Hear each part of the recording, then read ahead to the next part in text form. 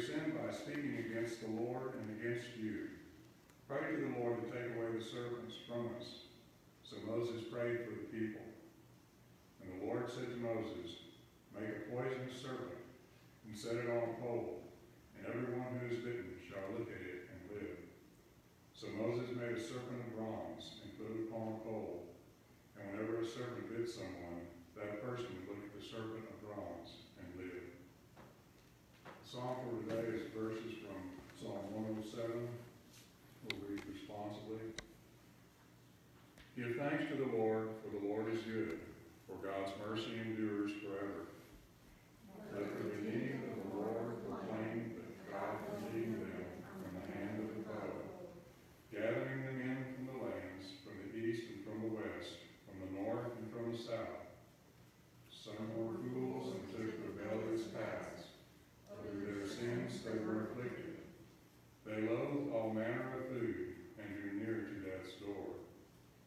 Then in their trouble they cried to the Lord, and you delivered them from their distress. You sent forth your word and healed them and rescued them from the grave. Let them give thanks to you, Lord, for your steadfast love and your wonderful works for all people. Let them offer sacrifices of thanksgiving and tell of your deeds with shouts of joy. And the second reading is taken from Ephesians chapter 2, beginning at the first verse. You were dead through the trespasses and sins in which you once lived, following the course of this world, following the ruler of the power of the air the spirit that is now at work among those who are disobedient.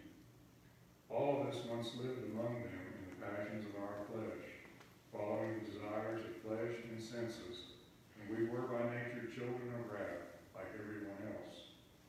But God, who is rich in mercy, out of the great love with which he loved us, even when we were dead for our trespasses, made us alive together with Christ. By grace you have been saved, and raised us up with him and seated us with him in the heavenly places in Christ Jesus, so that in the ages to come he might show the immeasurable riches of his grace and kindness toward us in Christ Jesus. For by grace you have been saved through faith, and this is not your own doing. It is the gift of God, not the result of works, so that no one may boast. For we are what he has made us, created in Christ Jesus for good works, which God prepared beforehand to be our way of life. Here ends the second reading.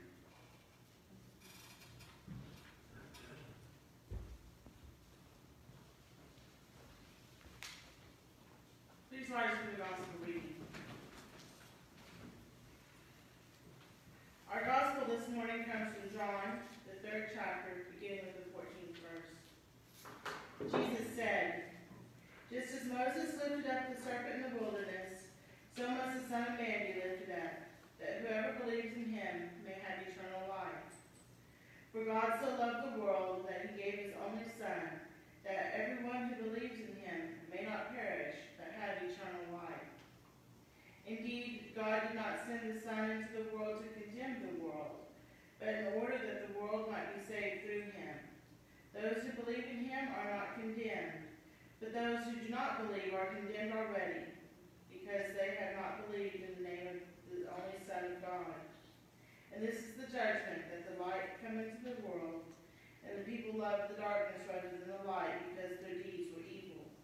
But all who do evil hate the light, and do not come to the light, so that their deeds may not be exposed. But those who do what is true come to the light, so that it may be clearly seen that their deeds have been done in God. The word of our Lord.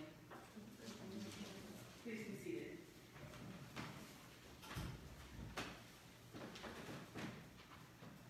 For God so loved the world that he gave his only Son, that everyone who believes in him may not perish, but may have eternal life. John 3.16 Probably one of the best known and most loved Bible verses. But what does it really mean? It doesn't mean that we literally live forever. It means that when we die, we have a place in heaven with God. Without Jesus dying for our sins, most if not all of us would be doomed to hell. We all sin. I can't say for you, but I can say for myself that I've broken at least a few of the Ten Commandments. Without Jesus coming to die for our sins, we would be in a world of hurt. Jesus didn't have to come to die for us. He is the Son of God. Jesus chose to become human, work his ministry, travel his world, and pay the ultimate price for us death on a cross. Death on a cross is not a glorious death. It is the death of criminals. Yes, our Jesus was treated like a common criminal. Death on a cross is a painfully slow, agonizing death. You basically suffocate as your body collapses in on itself. It is a horrible way to die, and Jesus chose to die on that cross because he loves us so much. He knew what it would be like, and he chose to do it anyway. What I find most incredible about Jesus coming to die for our sins is that he knew he wouldn't reach everyone. He knew there were people that would see his miracles firsthand and still not believe. Now we are a few thousand years removed from those miracles, and we must believe based on what the Bible tells us. And admittedly, sometimes it's hard to have faith. Jesus knows this. And he knows that some would see and not believe. And still he died for them. He died for us, even in our moments of weakness and lack of faith. Jesus is truly a light in our world. In the beginning, when God created the heavens and the earth, the earth was formless, was a formless void, and darkness covered the face of the deep, while a wind from God swept over the face of the waters. Then God said, Let there be light, and there was light. And God saw that the light was good, and God separated the light from the darkness. God called the light day, and the darkness he called night. And there was evening, and there was morning, the first day. Genesis 1, 1 through 5. We all go through a dark time. For some, it may be a time when faith is weak, or maybe it's depression. Maybe it's both. But God separates the light from the darkness. This makes me think the same. If it wasn't for the rain, we wouldn't have any rainbows. Yes, sometimes things are bad. But if it wasn't for these bad times, how would we know when times are good? God saw that the light was good. God knows that we have good times and that we have bad times, just like there is night and day. We are now coming towards a time of transition. Things are changing, and change is always hard. We must decide what type of attitude we're going to have about those changes. It's okay to be scared. Change is scary. It's okay to be a little angry. It's okay to be excited. A time for new beginnings is coming. A new chance to be a light in the world. Jesus came to be with us during our times of endings and beginnings, but we must allow him to have his place. It's so easy to tell Jesus to butt out and to try to handle things on our own, but that's not what Jesus is here for. He is here to love and to guide us and to give us gentle nudges in the right direction.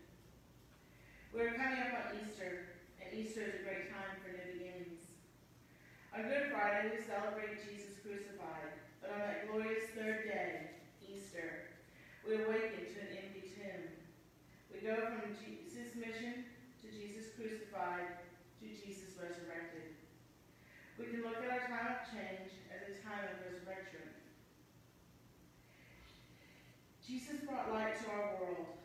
Jesus is the light of the world, and there is and is there to light the way through the darkness that enters our lives. We just have to let him light the way, and we have to let him love us. It would be easy for Jesus to say, No, I'm not going to earth and die for a miserable death for those people, many of whom still won't follow me, even though they have seen firsthand what I can do. Jesus loved so much that that wasn't even an option. Jesus came to be the light of our world. He came to die for us. The least we can do